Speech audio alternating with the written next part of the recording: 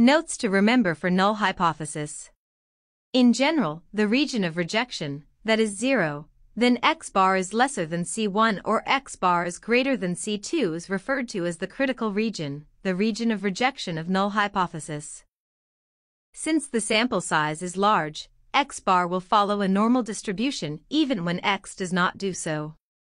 This follows from the central limit theorem.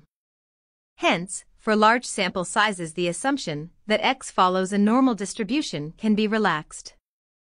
The above test is called the z-test as the threshold limits are identified using the normal distribution.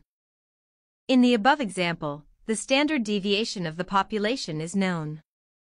Sometimes, this value is not known.